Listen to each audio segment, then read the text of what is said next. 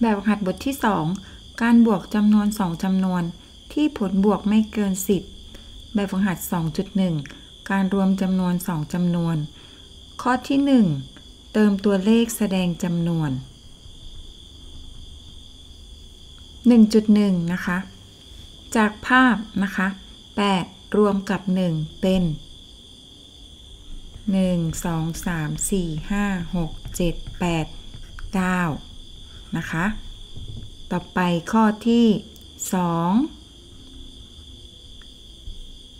5 รวมกับ 2 เป็น 1 2 3 4 5 6 7 7 นะคะ ต่อไป 1.3 7 รวมกับ 3 เป็น 1 2 3 4 5 6 7 8 9 10 นะคะ ต่อไปข้อที่ 2 นะคะ เติมตัวเลขแสดงจำนวน 2.1 มีอยู่ 3 นะคะ เพิ่มอีก 1 2 นะคะ ก็จะเป็น 5 นะคะ ต่อไปข้อที่ 2.2 นะคะ มีอยู่ 1 2 3 4 5 6 6 นะคะ เพิ่มอีก 3 เป็น 9 นะคะ ต่อไป 2.3 มีอยู่ 1 2 3 4 5 6 7 8 8 นะคะ เพิ่มอีก 1 2 ก็จะเป็น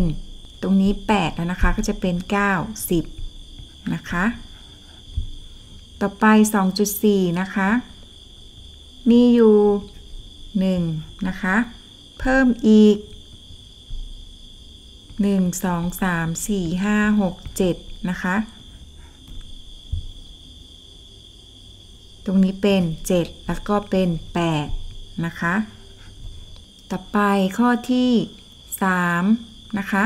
เติมตัวเลขแสดงจำนวน มีอยู่ 1 2 นะคะ เพิ่มอีก 1 2 นะคะ มีอยู่แล้ว 2 ก็จะเป็น 3 4 นะคะ ต่อไป 3.2 มีอยู่ 1 2 3 รวมกับ 1 2 3 ตรงนี้เป็น 3 นะคะ แล้วก็จะเป็น 4 5 6 นะคะ ต่อไป 3.3 นะคะ มีอยู่ 1 2 3 4 กับ 1 2 3 4 ตรงนี้เป็น 4 ก็จะเป็น 5 6 7 8 8 นะคะ ต่อไป 3.4 มีอยู่ 1 2 3 4 5 5 นะคะ รวมกับ 1 2 3 4 5 ตรงนี้เป็น 5 นะคะ ก็จะเป็น 6 7 8 9 10 นะคะ